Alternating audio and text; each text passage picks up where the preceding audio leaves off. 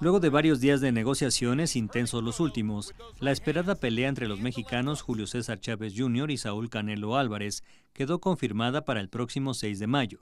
El contrato está firmado y ambos pugilistas se verán como parte de los festejos del fin de semana del 5 de mayo, y todo parece indicar que será en la T-Mobile Arena de Las Vegas y en un peso pactado de 164.5 libras. Desde el pasado mes de diciembre comenzaron los rumores y se confirmaron las negociaciones para la pelea aunque se dudó que pudiera realizarse por cuestiones del peso. Al final quedó pactada en 164.5 libras. Será en pago por evento, del que ya se espera rompa récords con la pelea. En los próximos días se confirmará la sede y la gira promocional. Notimex.